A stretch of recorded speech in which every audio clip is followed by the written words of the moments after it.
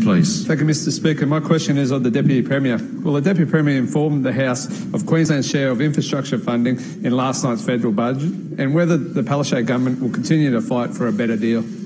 I call the Prem. I call the Deputy Premier. Uh, I thank the member for Capalaba for the question and can I note the member for Capalaba actually believes in public transport. I've caught public transport with the member for Capalaba before. But by the time we actually see a federal Tory government invest infrastructure money in Queensland, his newborn son might be a grandfather, Mr Speaker, by the time we see that happening.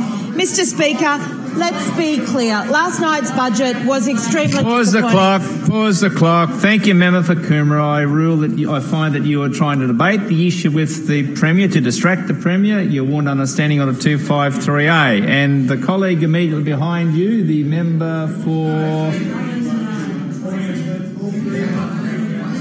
All right, we'll move on. Um, thank you. I call the Deputy Premier.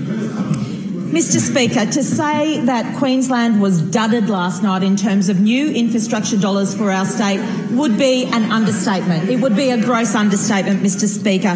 This is a dud budget from a Sydney-centric government that simply doesn't get Queensland. In fact, they think they should talk about Queensland when they're in Hobart, Mr Speaker. That's where they should convene Northern Australia meetings, which go into infrastructure for Northern uh, Queensland, Mr Speaker. But, Mr Speaker, despite the Liberal National Party in Queensland holding 21 out of the 30 seats in this state, federal seats in this state, how many, how many projects did Queensland get up in the federal budget, Mr Speaker? Well, not many. Because in New South Wales, New South Wales there's 5.3 billion for a new airport, Mr. Speaker. There's 2.9 billion for Western Sydney Infrastructure Plan. Billions for WestConnex and Sydney Metro, millions more for NorthConnex, Parramatta Light Rail, the New England Highway and the Princes Highway and more. In Victoria, there's billions as well for Geelong Rail, North East Rail, Tullamarine Freeway, Great Ocean Road, Monash Freeway upgrade. In WA, as I said, $800 million for MetroNet without a business case, Mr Speaker. No business case, $800 million.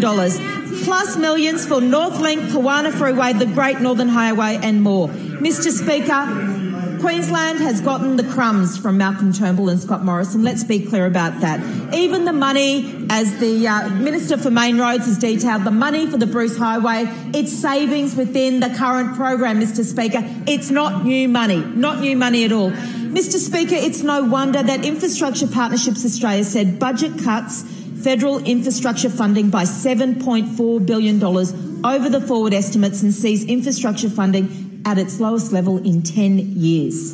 In 10 years, Mr Speaker. Mayor Luke Smith said part of our people moving strategy across southeast Queensland demanded that Cross River Rail be funded. That's a big disappointment. And what did fail LNP candidate Nick Barron say?